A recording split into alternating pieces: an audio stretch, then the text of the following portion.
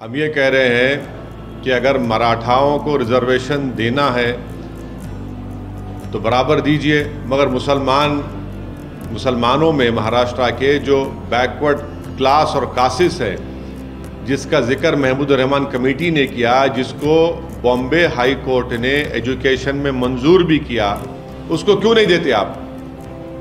अरे भाई, जो कमज़ोर है उसको दीजिए ना। कितने मुस्लिम एम एल हैं बताइए, कितने मुसलमानों के गवर्नमेंट में जॉब्स है बताइए, कितने मुसलमान आईएएस आईपीएस ऑफिसर है महाराष्ट्र में बताइए, कितने मुसलमानों के पास कितनी ज़मीन है, दो एकड़ ज़्यादा बताइए।